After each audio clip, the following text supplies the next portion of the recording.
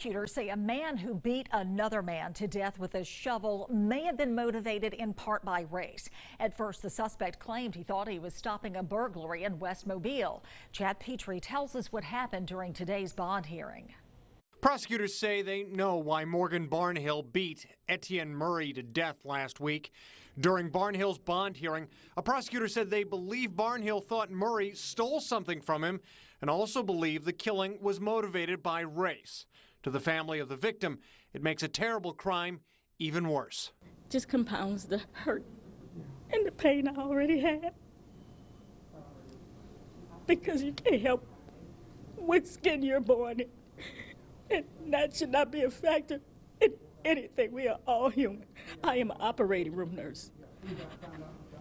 I see bodies open all the time. We all look the same inside.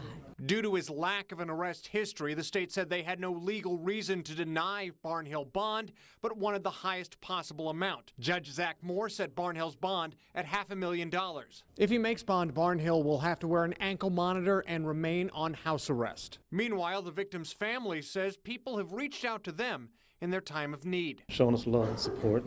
We thank you for everything and your prayers. We definitely do. From losing their son some good is coming as Etienne's parents say they're donating his organs. Etienne's kidney, and he's being operated on tonight, so pray that everything goes well. And his heart was, is going to somebody in New Orleans that also was recommended by some of my Facebook friends and families. Morgan Barnhill is expected in court again Wednesday for an arraignment.